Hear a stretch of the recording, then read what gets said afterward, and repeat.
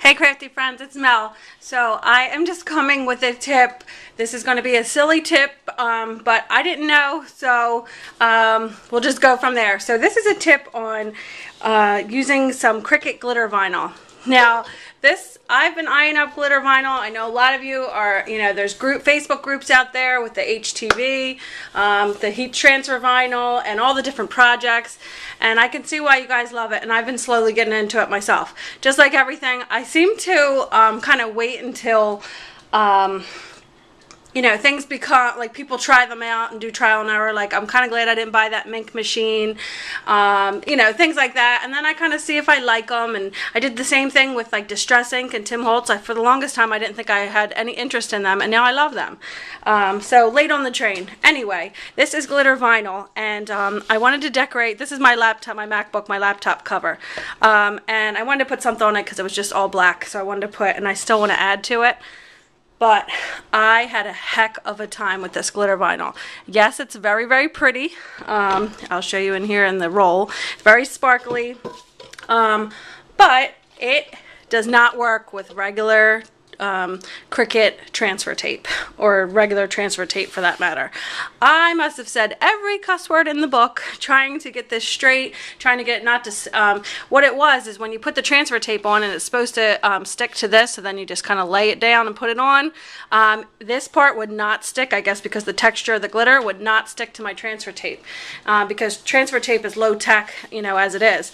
But what I didn't notice is in with this, and it even says it on here if I would have opened my eyes, that it includes one roll, one 12 by 48 inch glitter vinyl sheet, and then one sheet of 12 by 12 Cricut Strong transfer tape. So my little tip Sorry, I heard a kid crying. My little tip is that inside of here, it even says, and I just happened to see it later, and I was like, dang, I could have used that. Um, but this says Cricut Strong Transfer Tape. Now, I haven't used it um, because obviously I saw it after the fact that I struggled and I cussed and I, you know, said every word in the book. But um, it's right inside your roll. So that's kind of really nice on Cricut's part that they put that in there. You know, as expensive as these things are, it's nice that they included that.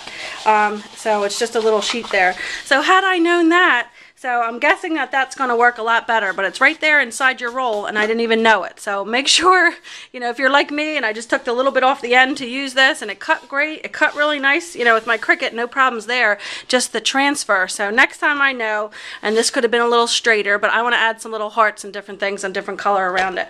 Um, but this is one of my vinyl projects, so I just want to do that little share and show you that. And then I also made this. So um, those of you who've been following me for a while, um, we call my daughter Whoopi, my our two-year-old, and then Maya has a nickname too, which is Bird, and it's been that since she was been born.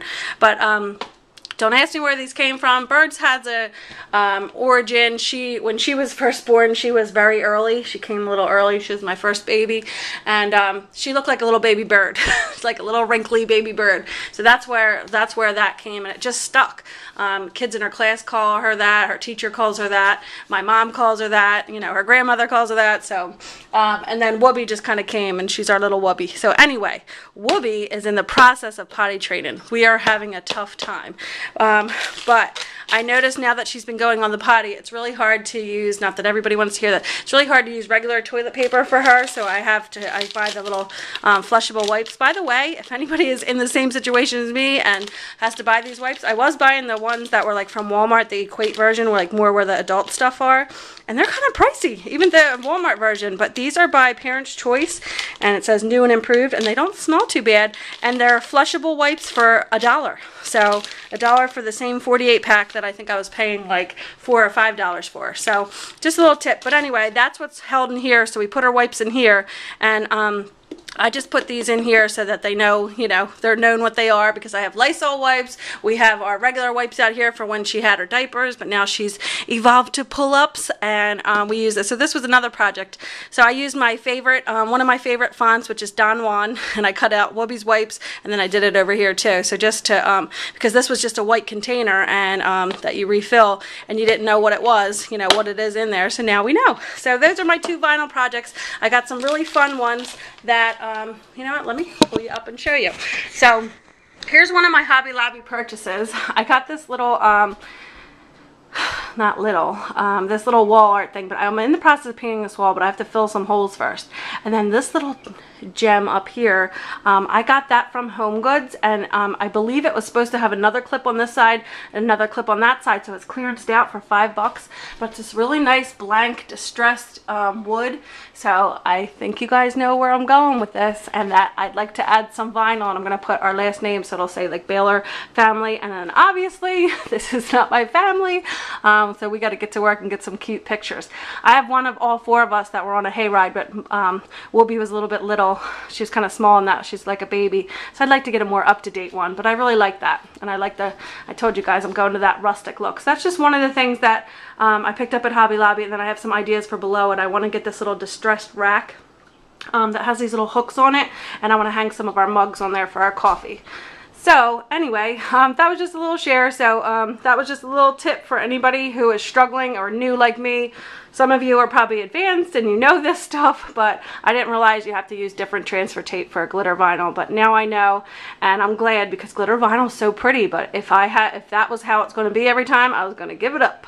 So anyway, hope you guys are all doing well. I miss yous, and um, stay tuned for more videos. Bye.